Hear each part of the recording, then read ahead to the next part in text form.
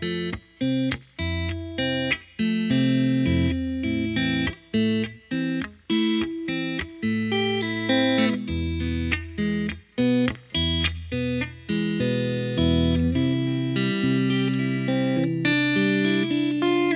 knew this kid named Alberto.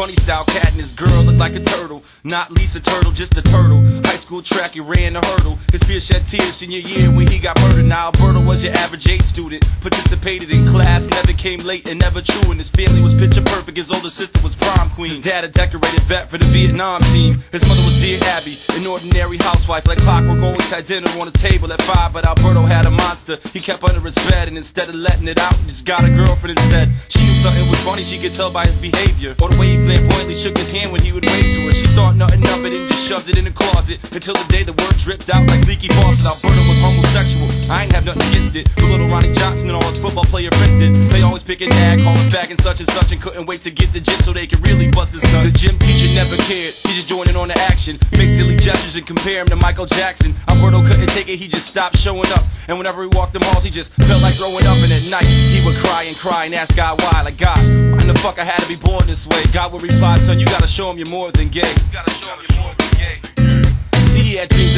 Track star until the one April night, them gay jokes went way too far. Ronnie begged for his forgiveness and invited him to a party. Cause his parents went away and left him plenty of Bacardi. Alberto kindly accepted, he was finally accepted. Except it was all deception and left him all unprotected. It was a plan, Ronnie had scammed to get him in the right place. Verbally degrade him and rearrange his pretty face. The plan would go swiftly, they started calling him sissy. One punch turned into 50, they beat him till he was dizzy. Now Alberto lie in blood while his peers look on in fear. He took his last breath and passed away his senior year. Needless to say, it was one big tragedy. And how was Ronnie gonna explain it to his family? While they were on vacation taking in sights, he got wasted killed the kid that night. Don't be a slave and behave the way they do. Just utilize the gifts that God gave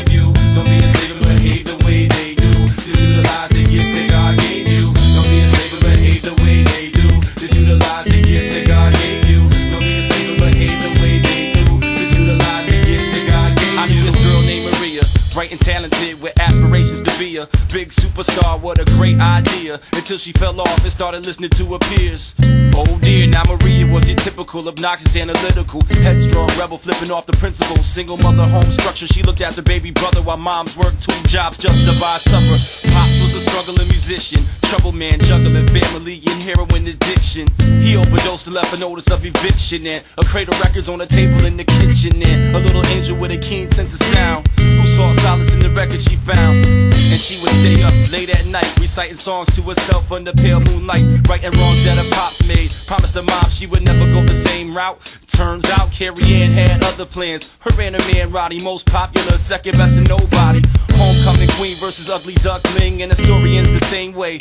Okay, Ronnie's parents went away for a couple of days and told him no drinking. What the fuck was they thinking? Maria was oblivious that her boyfriend had already been invited. So when Carrie Ann asked, she got all excited, like damn. Now I got something to look forward to, or so she thought. Maria kindly accepted, she was finally accepted, except it was all bullshit. Now pay attention. Carrie Ann hated Maria cause she could sing, so she scored a bag of heroin. But the craziest thing was Maria never touched drugs, she did that night. And when the man was getting beat, she was nowhere in sight. Now her boyfriend lie in blood, and she had no idea. Alberto passed away and she got hooked her senior year. Needless to say, it was one big tragedy, and I hate to break it, but it doesn't end happily. A warm day in May, the sky was so beautiful. Carrie Ann died in a crash, leaving the funeral.